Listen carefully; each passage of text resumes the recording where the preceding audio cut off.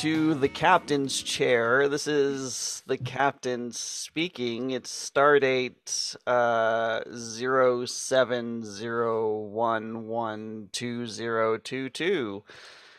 And uh, it is uh, you have not turned tuned into a, a Star Star Trek podcast. This is actually just uh, binary jazz. Uh, this is my new if you're watching, which you're probably not because it's a podcast and most people don't watch podcasts, but every once in a while, one person will click on it for about five minutes and uh, or less, uh, and maybe leave a comment that says "great."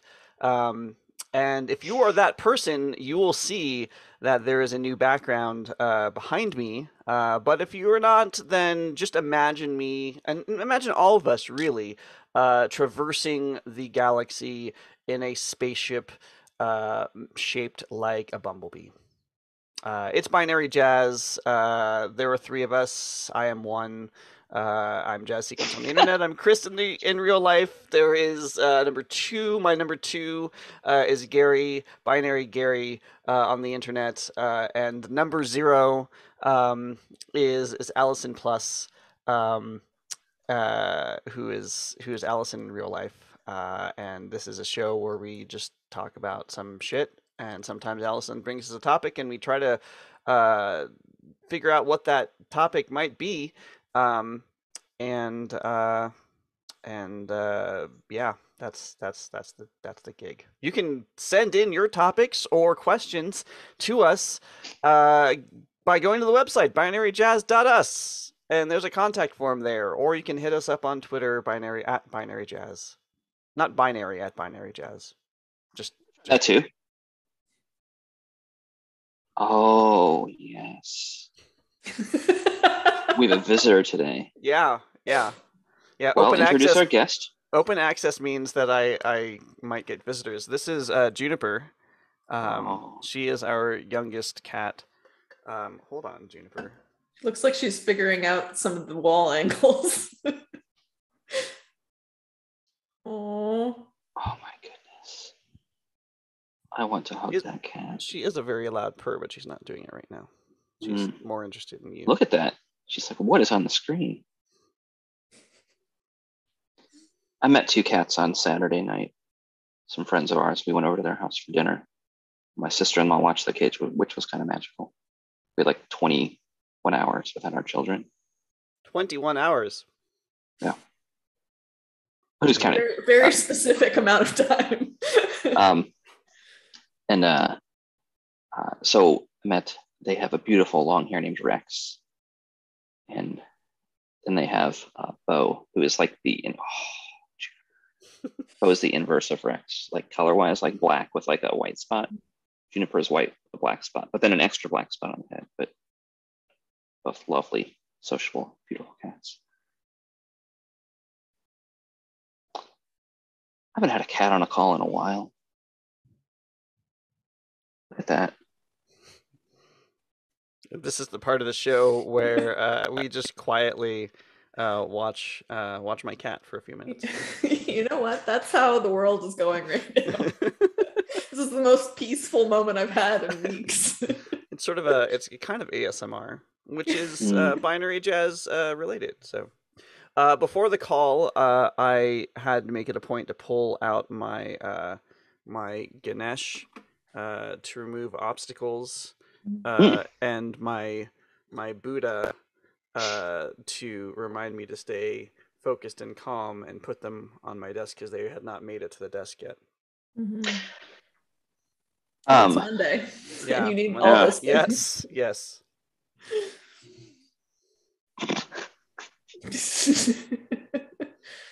and also oh my gosh, gravity. So it's a spacecraft. Like it really looks like. Yes. I want an office with no gravity. No work would get done, Gary. It's true. Who cares at that point? yeah, it's true. Who Cares at that point. Hmm. How is everyone doing? We haven't spoken in person well, I guess we haven't spoken in Zoom in person in uh, two weeks. In two weeks. Yeah. Uh, Lot. yeah. It's been okay. It's been it's been a little bit uh hectic around here with uh closing on a house and moving uh and um yeah. The and the old house is sold as well. No. Oh, No, we need to sell the old house because we do not want to pay the mortgage on this Mhm. house um, without having first put that money on this mortgage. Mhm. Um, so uh, Aaron's actually over there right now painting. Uh, we need to paint that place. We um, have a contractor that's hopefully going to start this week to update the kitchen. Um, I just got in touch with um, uh, carpet people um, to replace the carpets in the kids' rooms, which are just trashed. Um, and then, and then we still have a, a few like just little things um, over there, like probably like, I mean it. You, you think it's like a day's worth of moving, but like a lot of it is just like random shit, and so it's all this little stuff. Um, you know, Aaron and I's closet is about half empty um just just a, a whole lot of little stuff and then there's a whole bunch of stuff downstairs that just needs to be pulled out and then put in a big trash pile um so there's still some stuff that needs to be done and we're hoping to get it done in the next couple weeks and and then list as quickly as we can um, gotcha. I wasn't sure like what the where the market is these days. Like if you could do the old like oh you can't do the old like list it and be like you didn't get to like send an inspector. Here's seven Um, pictures. Good luck. I mean, we'll see. It's it's there's still there's still a a uh, a a shortage of houses, but there are essentially there are fewer buyers because people are being scared off by the rising uh, interest rates, Mhm. um, and just deciding not to do the stupid thing that we did. Someone has to do it. Yeah, Yeah. Musical no, chairs. Exactly. Yeah, I mean, Eventually, someone's holding the bag with extra houses. the thing is the thing is that utah and salt lake city in particular has been getting for years lots of um, uh, transplants from other places because utah is and continues to be far cheaper uh, to live if your job allows you to work remotely um, than than anywhere else and while still having a like tech presence uh, seeing good food like a downtown um, and our old house is is you know five minutes from downtown so um, it's Is it Yeah. walkable to downtown? it's it's i would say it's just outside of what i would consider to be walkable to downtown it. but there's public transportation and there's you know stupid scooters all over the place it wouldn't take long to get to downtown What a weird branding choice that is. Yeah. Stupid. I mean, i mean it are you you could it's not wrong. We're we're we're so I would say the the north edge of downtown is where the temple is, and the temple is definitely you could definitely walk to the temple, and by the temple I mean the Salt Lake City Yeah. temple of the Church of the Jesus Christ and Latter Day Saints people. It's quite the collective, isn't it? yeah, yeah. Um, but like that, that's sort of like that sort of marks like kind of the northern boundary of what is considered to be downtown, and you could definitely walk there from from the house. Um, and Many you can walk moons to the ago. Capitol from the down from downtown too if you want to go protest the Church of Jesus Christ and Latter Day Saints. Their involvement in Incidentally, it's not the same building, but Yeah, no. there's an underground it's- tunnel connecting the two. you know, um, so originally in Salt Lake City, there, there, so there's a the city, the city count. Mm, no, the building that is used, the the building that is used for City Hall. I feel like I just watched Chris Short Circuit. The the building that is used as as City Hall for City Council meetings uh, was, I believe, the former Capitol building. Hmm. and on that building when they built it they built it to be to essentially rival the temple to the point that they put a little statue golden statue on the highest spire to be uh to to to sort of not mirror, but to sort of like contrast the statue of Moroni, which is uh, the the I guess saint uh, that is on top of the Salt Lake City Temple, uh, and really all major temple temples, not wards, but temples. Um, you said Moroni? Moroni. I actually know what Moroni is the saint of. Oh. Americanized Italian food. um, uh, and they did that because they wanted to explicitly create a. They didn't want the temple to outshine uh sort of city politics essentially or state you know state politics they want they wanted it to be distinct and and equal and rival to um and there was a big conflict uh, uh, uh when it was built about between sort of church and state um and and that was represented when they built the temple. So it's so so the the original so that that building is a really old really nice looking building uh that that yeah kind of does look like a like the temple. So yeah, Oh. it's it's it's it's the the underground tunnels um probably don't exist because there has been this historic like no you can't get those two things involved but like it's more in words than and than actions because obviously and like most of you know Utah yet legislature is is LDS. mm-hmm There's underground tunnels at Disneyland, if that's any consolation. Yeah, yeah. I always you- wonder about like what like why though. You've certainly run into the weird stories though, like people tell like about horrible things in the Well, tunnels underneath Disneyland and Disney World. Disney World in Florida also has It's tunnels just underneath. faster. Is it? I guess Yeah. so. Um, there, Aaron's parents recently um, learned from some friends of theirs that so so they had some friends who had like a trap door in their basement or like a door in their basement. I don't know if it was a trap door, uh, and they'd never gone through the door. I don't think I've told this story. Maybe I did. Um, Wait, they they they'd never they'd never gone through the door. They didn't know what the door was for. It was just one of those things that was just there, and they just like you know whatever. It's probably crawl space or whatever.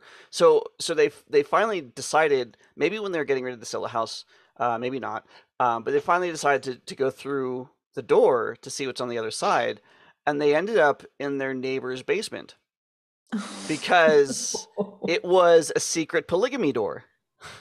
right. So so you know the person who built the tunnel uh, had you know multiple wives presumably, and one of them lived in the next house, and there was that was the tunnel, so that they could practice their polygamy in a way that was uh, more discreet.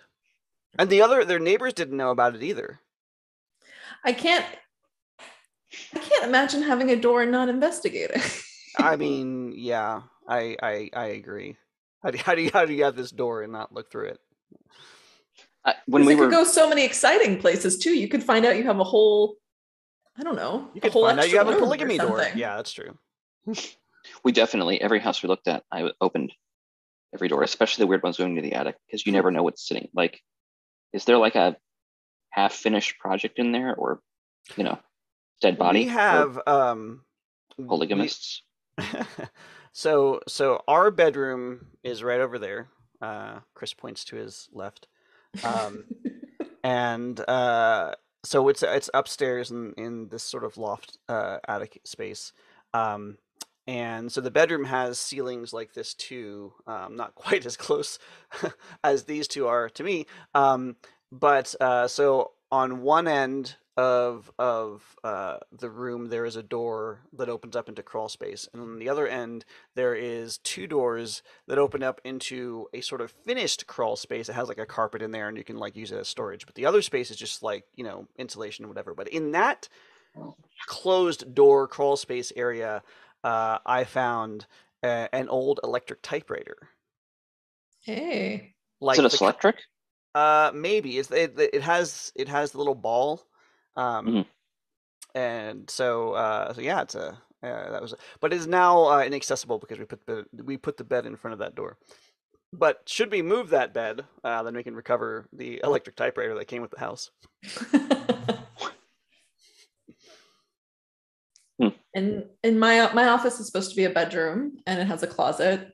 and it actually used to connect to the closet in the adjacent room. So you Ooh. could walk through You could walk through the closet. the closet to get to the other room, Uh-huh. which we were like, that's fun. Um, Oh, then- like the old polygamous closet. Yeah. Yeah, the old- exactly. Yeah. Yeah. That that's where Um, the that's where the the what is it? Uh, three minutes of heaven room is is that closet. Is it is it three minutes? into, or like, 60 37 60 minutes. I think it's Yeah. seven. Yeah. No, yeah, I Um, think 30 seconds is a lot more realistic for the age group that that game is played. Also true. If any heaven is attained at all. Um, but then we built a Murphy bed and now it's blocked off. It's like just closet, which is less exciting. But Mm. I think Robin was more worried about me playing weird pranks and jumping out and scaring people because I was very like thrilled by the concept of just like really creeping people out in that room. and he didn't lean into that. Come on, Robin. well, no, because I think he's worried that he would be the I would be the culprit and he would be the one being frightened. I mean, still though, right? It's good, feed, good feed time. into feed into that creativity. Yeah, guest room took precedent.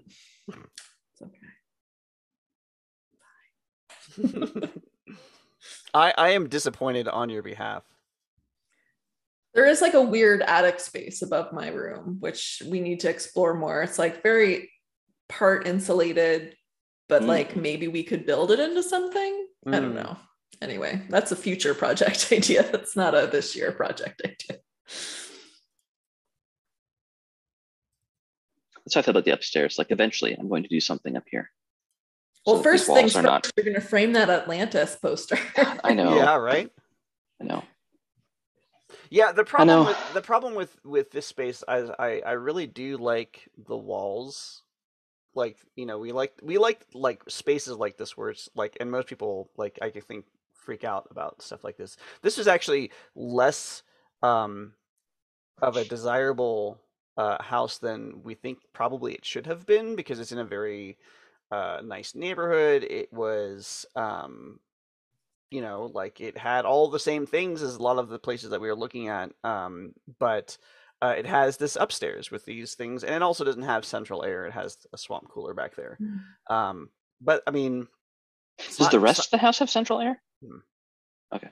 But the swamp cooler is right above the stairs and the stairs are stacked and the the stairs going upstairs are open so the so like it pr- it does a pretty good job of keeping most of the place pretty cool Yeah. um but uh yeah it didn't it wasn't as in demand as we expected it to be and um we've seen this before in other places that also have weird sort of attic spaces that have been finished because i guess the slanty walls freak people out but like we really like it but like it does limit your options if i wanted to like put decoration on the wall of some kind like i can't hang the the like pictures the prints that i had behind me in the other place i could like you know tape stuff if i wanted to do that but uh, if i Mm. wanted to be a little bit classier i more your, your tape days are gone, and that's yeah fine. right yeah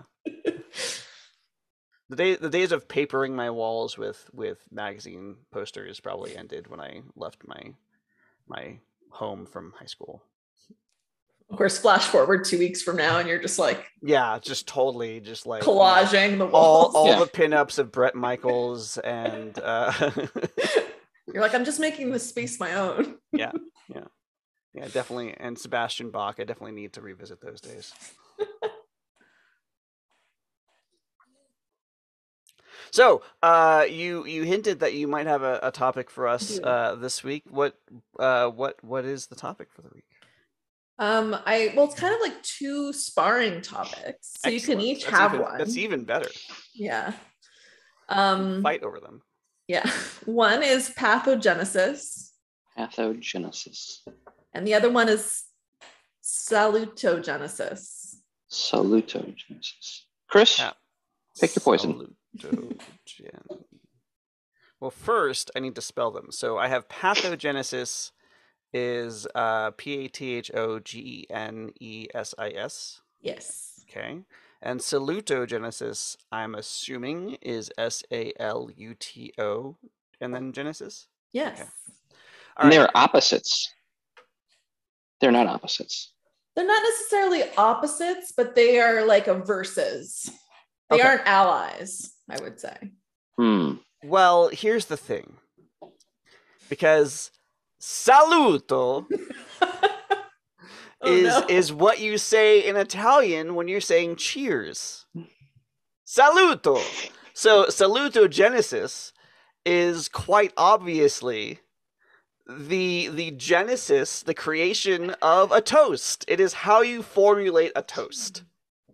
Um and and so if they are op- if they are opposing forces, uh, I would say that salutogenesis is uh, formulating a toast at maybe like uh, a baby shower or a wedding or some sort of beginning of things, whereas pathogenesis, being the opposing factor, is how you would toast someone at a wake or a funeral or something. Is how you would. Uh, like more of a tribute. yes, exactly. a- It's it's how you would craft that that uh, you know uh, that speech. Gary. Um, I I mean I think that's a valiant attempt, honestly. uh, as as is my custom, I'll break the words apart and come to the wrong conclusion. yeah, that's a good that's a good idea. so Genesis, of course, is the start, the beginning. hmm Yeah, we covered that. But but you're talking about like at a wake, like the the saluto salutogenesis is the um um wait no it was the creation of a Salutogenesis. Salutogenesis is when you're crafting a toast that you would give at the Oh, at, okay. at a beginning sort of event, at, at a wedding or a baby shower or uh, something. yeah something that and pathogenesis is is when you're crafting a toast uh, or or a a speech that you would give at, at an ending sort of event. okay so in both cases the the root relationship is that you're creating Some sort of some sort of speech. Yeah. got it okay i'm totally spun around now in my head because in your case there's like the double creation like i don't know Like um well So would a birthday be pathogenesis or salutogenesis? uh, I would say a birthday would be. Hmm. That's a good. That's a good. I okay. So so a birthday would be salutogenesis. However, that's only because we celebrate birthdays at the end of completing that year, right? Like you don't celebrate your first No. birthday on on the day that you were born. You celebrate your first Oh. birthday after having completed a year. So technically, uh, a birthday speech should be pathogenesis because it's actually at the conclusion of the year, but in fact, it is the beginning of the next year, so it's actually salutogenesis. Wow. So That I could even That come was up. some fancy footwork. I could even come up with a bullshit answer to, that is overly complex and yet still makes sense to some degree about this bullshit thing that I just created. Yeah. pretty compelling pretty Yeah. compelling. um i would say um that this has not helped me in any way shape or form crafting my answer patho Uh-huh. uh i would say pathological right Sure. Sure. You could say that. Salutological isn't a thing, so I'm a little little lost here. But then maybe I should back up and say maybe it's not pathological. Maybe it's literally like path, like a route, a way to get somewhere. So similar to your idea, mm-hmm. pathogenesis is uh, creating a set of directions or a policy or procedures. Okay. salutogenesis is um, in hindsight capturing those the steps you took Okay. Oh. Okay. so salutogenesis is likely going to be more accurate pathogenesis is more optimistic salutogenesis is pessimistic So so so uh let's let's bring it to something uh completely uh uh irrelevant and unnecessary. we Um, already have but go on if we put these into uh, agile framework terms, Yes. Oh God, yes. Yeah. I love this. pathogenesis would represent the sort of sprint planning, the planning phase, or or maybe the road mapping phase of a project, whereas salutogenesis would represent the retrospective part of the of the process or the sprint. So as, as you are you're documenting Yeah, why not? Sure. from the end documenting like where how we got to where we are. Yeah. I mean, I'm not that convinced of my answer. I'm not, just not willing to like jump in whole hog and confirm. It's just it's yeah. What you what you described matches what I was trying to suggest, which is wrong. sure. That's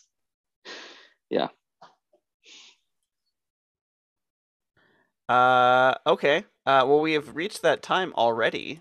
Uh, to find out what uh what these words actually mean. don't forget we spent the first third of the show in space. So It's true. Well, we're all actually still in space. yeah, I wish I was more in space. More in space. As I gaze wistfully out the window at the sky. Have you? I mean, I imagine you must have, but have you read a lot of Ray Bradbury? Actually, not as much as you'd think. No. Okay, that's interesting. Yeah. I feel like you might really dig it. I uh when given the option of um a book I can read, I often find myself going to like NASA history. I don't know how many more books I can stand though in NASA history. I feel like I've like a lot of times I'm like, I, I know this story already. Sort of where I am, you know? But Anyway, there um, we are. It- you're just pathogenesis. building up the suspense, I think. Yeah, da da da. Pathogenesis is the treatment of disease, Mhm. and salutogenesis is the creation of health. So one treats the thing that's wrong, and the other one is basically like the things you can do to contribute to good health. Oh, well, that's nice. That does feel like a fun partnership.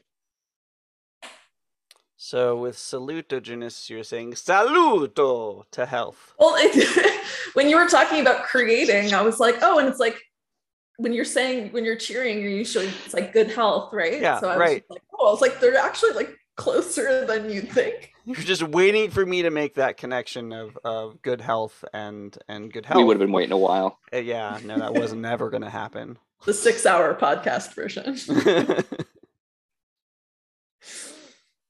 Ah. Did I tell you all we got fiber internet? oh, you did. Good. Yeah. How Yeah. could you have ever lived without it? Uh, I made it a lot of years without. Um, Made it a lot of years without. who's your? I mean, is it like some local provider or is it? Or It is. It's this company called Windstream, Okay. um, and they do like very rural phone service, so heavily subsidized. And you drive out into the farmlands, and like they're the telephone lines. So Yeah. I'm sure they're running on an old old AT and T copper. I don't know how any of that works, but uh, or how think they. I don't the- Uh, Well, I mean, I guess you. Mm, I guess you could do copper for over the long distances, but you'd still need to have some sort of a uh, an access point that is fast enough to to do fiber to the to the home. Yeah, I don't know where that where it terminates around here, but uh, when they came to install it, like a guy came with a cherry picker truck and then another pickup truck, and I'm like, oh, this is a thing. Uh, and he comes and knocks on the door, and he's like, we actually already have a line running to your house. Can I see what it terminates into? Hmm, And the house was already set up for it. already wired. So literally, he was like, let's let's follow this Cat five cable all the way to where my cable modem is hooked up, and he's like, can we just plug in your router? Yeah, and you're live. that was easy. uh, nice. Yeah, yeah. Yeah, was- our I- uh, this place, um, we had Google Fiber at the old house. This place already had Google Fiber hooked up. Um, Google Fiber, so Google's not the best at their documentation. Uh, and when I moved, I contacted support and I said I want to transfer service because there's no actual like process to move service other than to talking to support. Um, and they said something at the end to the effect of, um, when you are at the new place, you'll need to let us know so that we can turn on something, something, something. And and I'm like, okay, fine. Um, so we get to the new place, and I plug everything in. I'm like, oh, we already have internet. Okay, great. And then I got an email from Google that says, "Here's what you need to do to set up your new service." And it was really vague on like it was all the setup stuff that that we've already done, like plug in your thing and make sure it's working and get the Google Home app and like connect all your access points and all that stuff. And it's really vague on on like the after that part. Um, so I never contacted the uh, I never contacted Google. Um, Oh, we should have left it. I never contacted the Google. and when That sentence structure.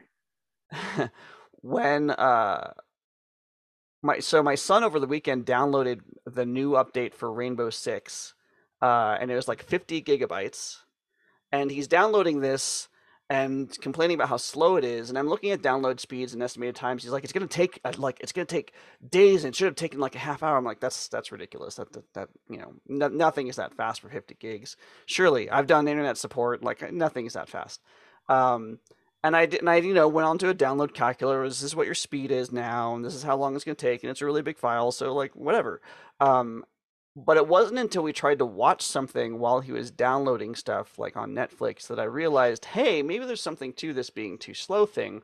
Um, and then I started doing like looked in my speed test history to see what we had Hmm. historically gotten on Google Fiber, and it was like you know, a hundredfold 200 Yeah. 300 fold less than what we should have been getting um, so uh, so yeah i had to contact uh, google fiber and they just like said okay you're done um, just, like like flip, flip the switch turned it on whatever i don't know uh, and now we're back up but i guess like the google fiber ports are live um, so because like initially when they were selling it they're like oh yeah there's free internet um, at like basically dsl speeds Yes, I remember that. um, Yeah. and then they just stopped advertising it. And I don't think they ever turned that off because I think that if you do go into a, Goog- a home with a Google Fiber jack, that you can just plug in and get DSL speeds. That that's what I've learned from this process, and you and just have internet for for free. Well, But, not uh, for free. but- you have the cost of the internet is providing Google access to everything. you do. Okay, yes, That that old thing. yeah, that old I- thing. We had to change. So, like, our old provider was the cable company, so they had like a like there's you know we had like a TV app that came with them, Spectrum, and uh, so we're Mm-hmm. Ooh. going to have that. I had like things Spectrum and Sling. I'm like, well, I need to have something because like there's enough that the kids want to watch that requires like normal TV, um, which like whatever. Uh, so I'm like, all right, well, it looks like Google TV is my choice. Uh, so I signed for Google TV and I installed it on the Apple TV and signed in and blah blah blah. And then I tried to watch it and it was like, oh, you actually need to enable location services on the app hmm so that we So that we know what local in the, yeah, channels. Yeah. but not the app on the Apple TV, the app on my phone. And I'm like, no, that Mm, ain't happening. mhm. So there's an old iPad mini I have for just these circumstances that does nothing but validate location, which makes me like eccentric and weird. And I understand that. But I'm also like, I, Google doesn't need to know where I am. I don't think it makes you eccentric and weird though. But every like everybody in the world, okay, i guess we bit have to do. eccentric and weird. I, ju- I- I, ju- I'm just not okay with that. Like, no, no. I, I'm happy to share my location with the two of you, with with Rhonda, with friends. But Google can fuck right off with that. No, there's no need. Yeah, no, I guess I guess I guess allowing uh, location services from your phone would then allow Google to continue to track your phone after you validated your location for the purpose of the Google TV app. Well, it seems like you have to validate it every X number of days. Whereas using your iPad mini that is presumably not mobile and is only staying inside the house is only giving it one point of data, which is that's a valid. And it's also not associated with anything else that happens, right? So it's not Right. like, you know, oh, now I have this Google, you know, profile and tracking information that they've And it's also Been able to looking scrape at all from the device ID you're using. whatever, yeah. Yeah. Yeah. Yep. Yeah, it's not. It's occasionally I look at recipes on there. So It's it's, it's gonna not. think I'm like a, you know, I, I amend my statement in that it in saying that it is uh, eccentric is slightly less eccentric. Well, it's ex- I would say I guess it's eccentric by our current standards of where our understanding and, and use of privacy is these days. I just miss the anonymous internet, and I miss, or and I and I am disgusted with the Do you know? inherent. Yes. Yes. You because would- there because coupled with that there is this like accusation that like you must have been doing something wrong if you wanted the anonymous internet. I no, see. I just don't. just don't want, want you to to, know my data. Yeah. Yeah, you don't need to. Uh, yeah, yeah. If you need, if you want to know, ask. Like, I'm happy to tell you all where I am or what my favorite type of cereal is or whatever weird search is. I mean, I don't know. I, I don't. It's just Google. I don't trust it.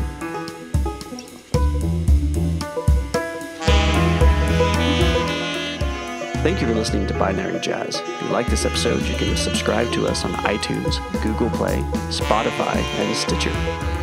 You can visit us online at binaryjazz.us or follow us on Twitter at, at Binary Jazz.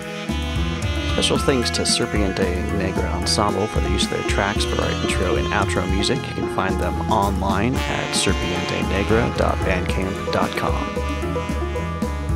Don't forget that you can ask us a question through the forum on the website or on Twitter, and we'll read it aloud on the next episode of Binary Jazz.